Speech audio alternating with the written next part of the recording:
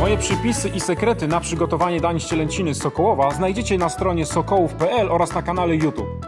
Zapraszam, Łukasz Konik.